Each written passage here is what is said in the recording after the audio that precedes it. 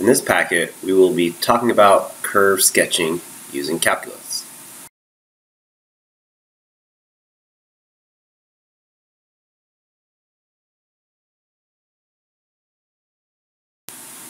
We start by identifying the domain and possible x and y intercepts.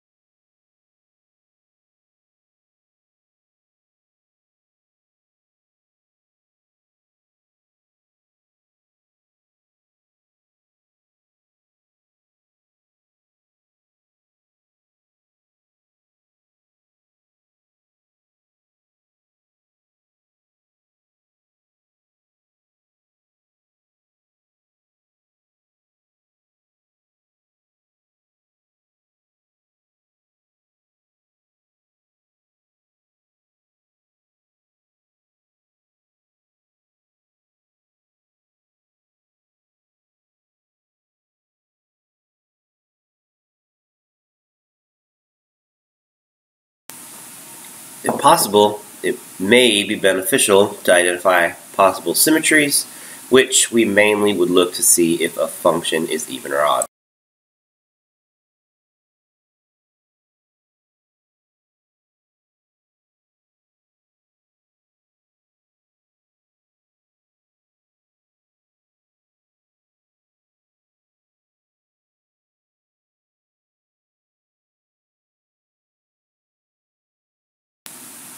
Next, we see if we can find possible vertical or horizontal asymptotes.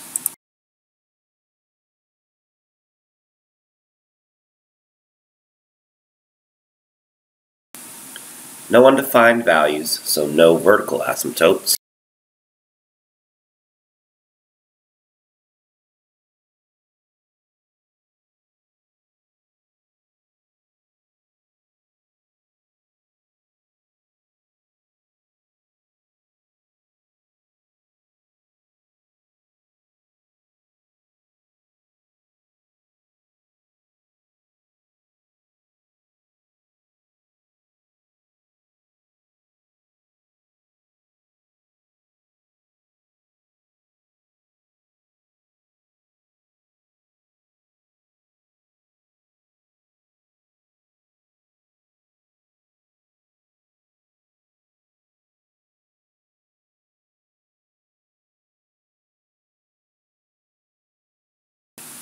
Since no negative x values in the domain, we don't look at this limit.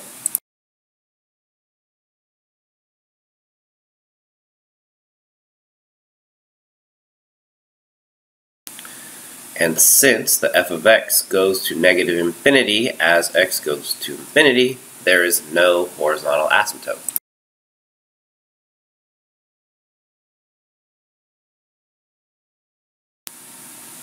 Now we find intervals of increasing and decreasing. So we find the first derivative and critical numbers.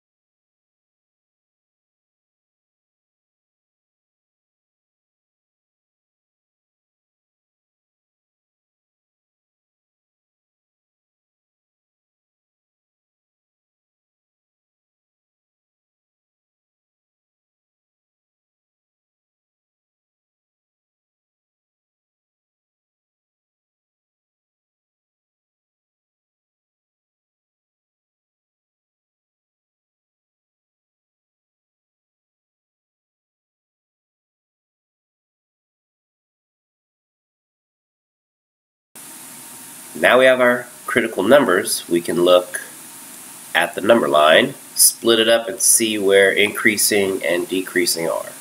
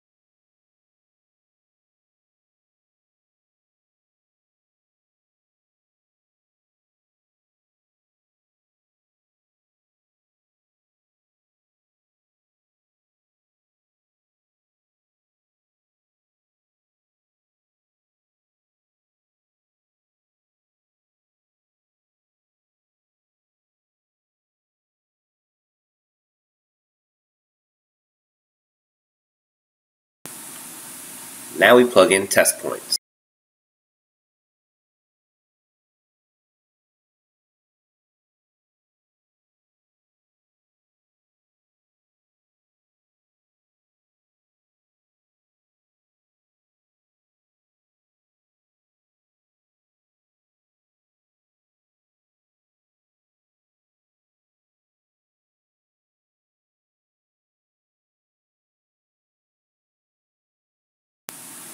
So curve is increasing from 0 to 1 fourth.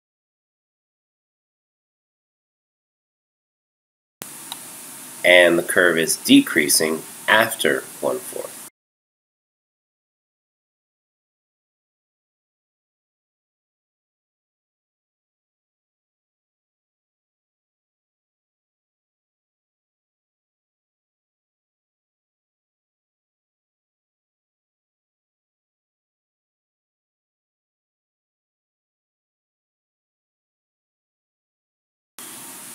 Now we look at concavity, which means we need to look at the second derivative.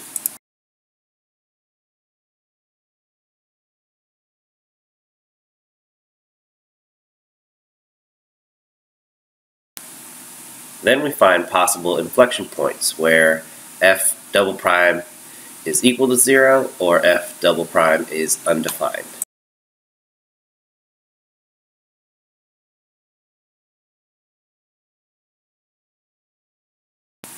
In this case, f double prime of x is always less than 0 since the domain of the function is 0 to infinity.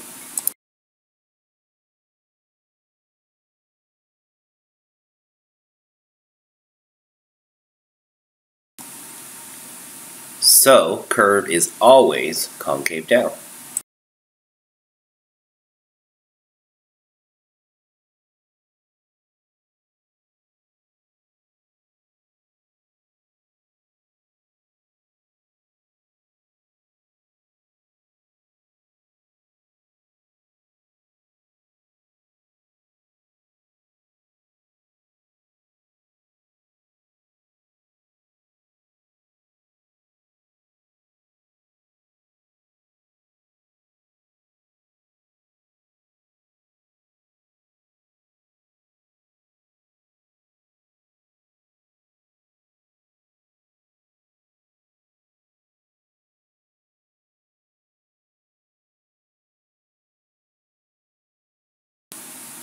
Now that we have some nice information, we can make a nice graph.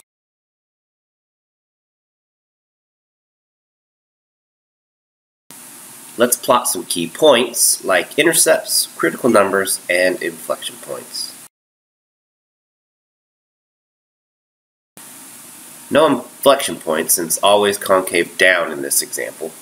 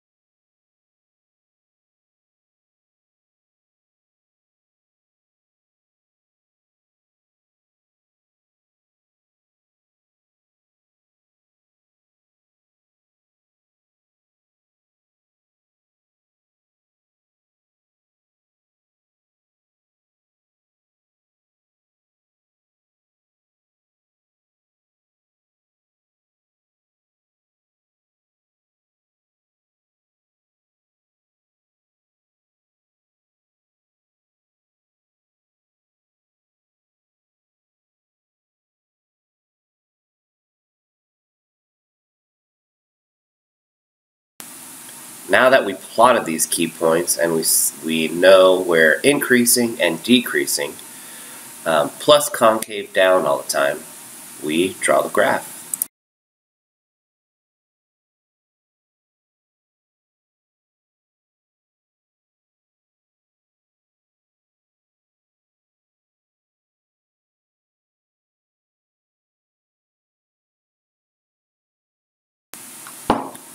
Now let's see how accurate we are on Desmos.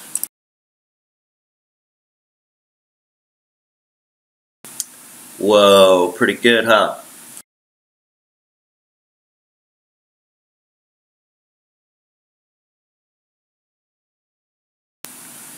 Here is the general strategy to curve sketching with calculus.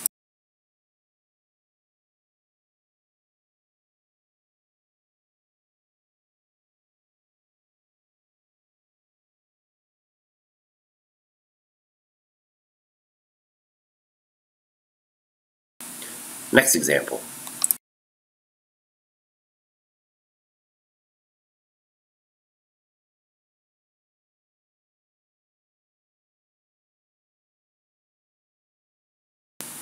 So first we find out what the domain of the function is.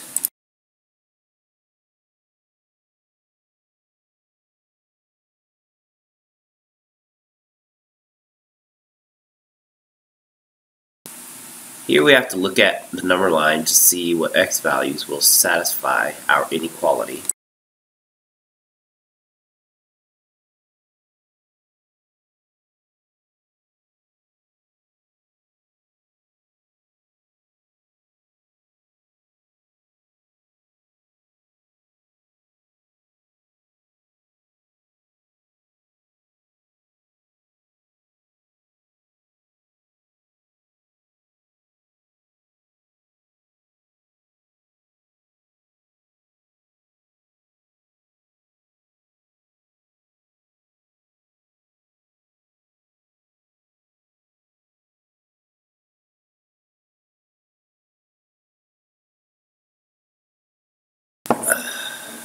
So now we see that our domain will be from negative 2 to 2.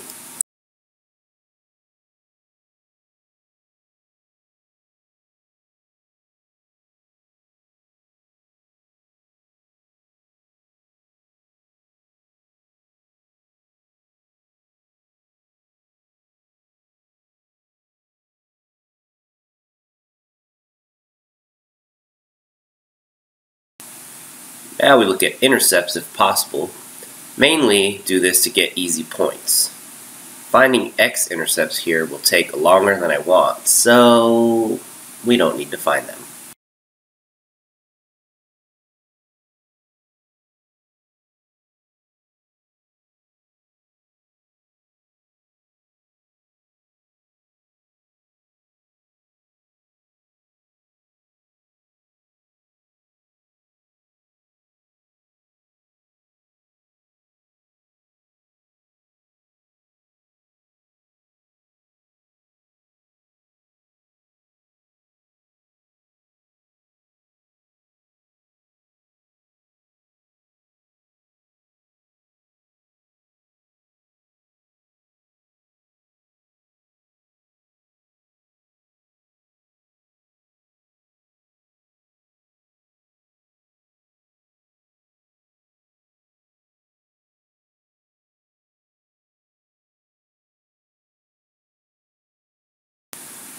Now we look at possible symmetries. The function is even. f of negative x is equal to f of x, which means it is symmetric to the y-axis. That may help us when graphing.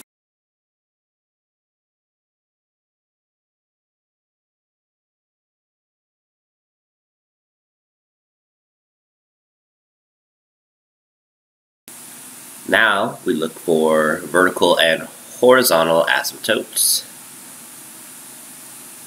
Here, since our domain is from negative 2 to 2, vert vertical asymptotes will be x equals negative 2 and x equals 2.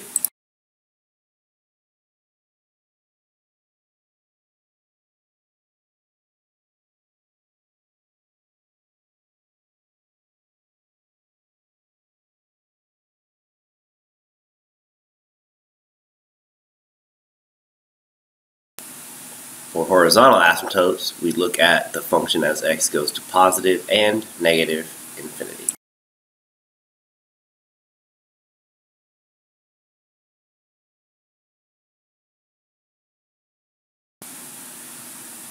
For those of you who would like an extra point, I did make a mistake here. Tell me what I did in your video reflections and you'll get a point.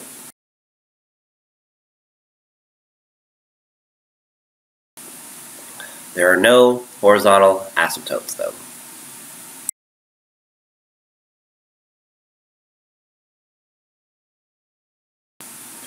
Now we look for intervals of increasing and decreasing. So we find f prime of x and also find critical numbers.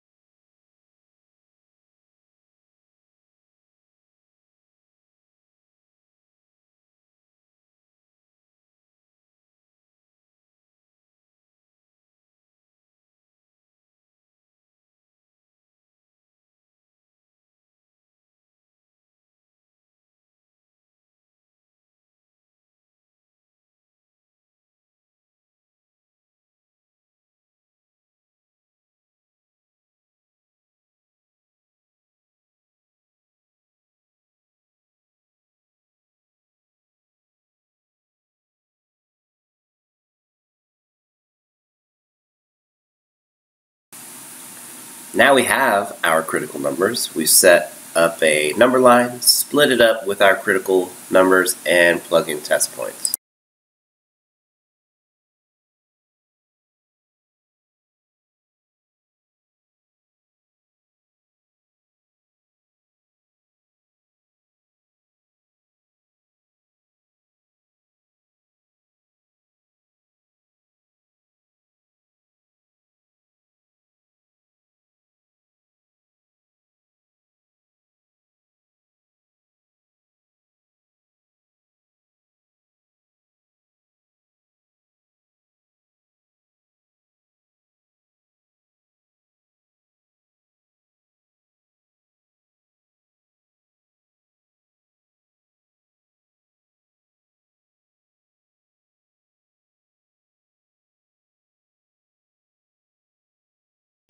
Remember, a function is increasing when f prime of x is greater than 0 and decreasing when f prime of x is less than 0.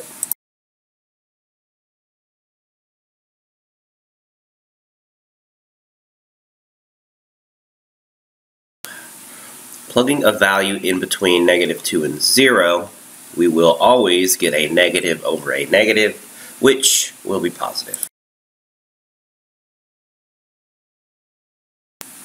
And plugging in a number between 0 and 2, we will get a positive over a negative, which will always be a negative.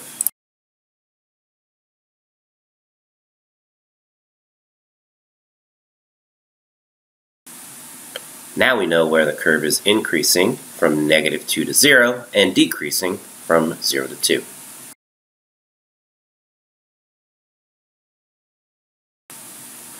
Also, this gives us confirmation that at x equals 0 we will have a local max, which will also be the absolute max in this case. Now we look for concavity, which means we need the second derivative.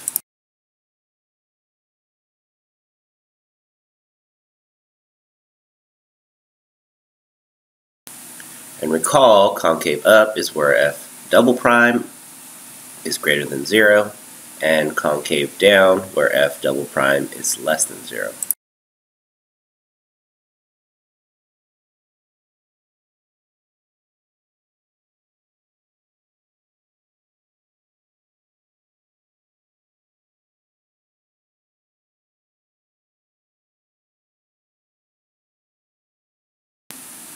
We use the quotient rule to take the derivative here.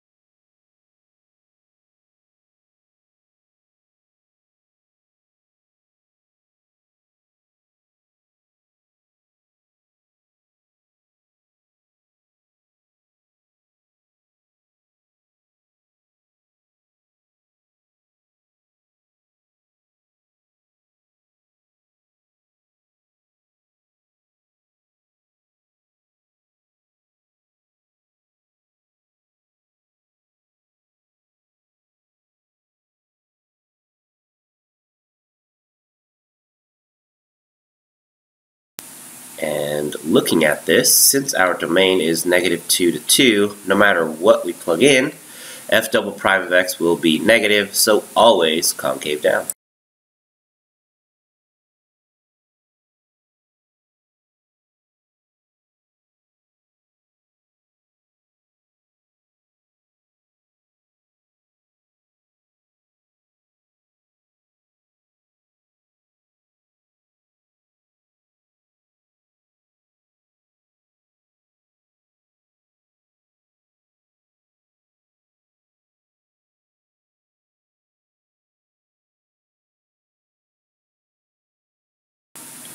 Now we use our cool information to graph a nice accurate curve.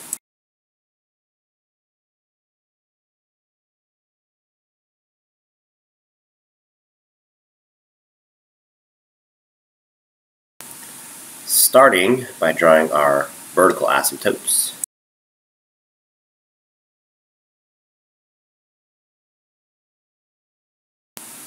Now we plot our easy y-intercept, 0, ln of 4.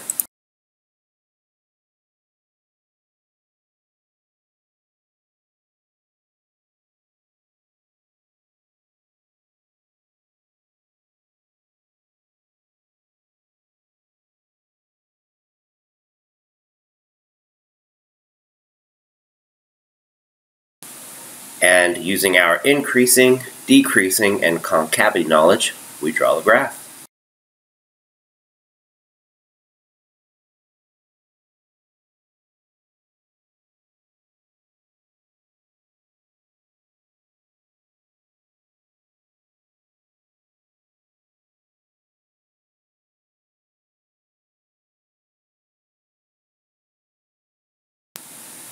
Now let's see how good we did with Desmos. Nice, huh?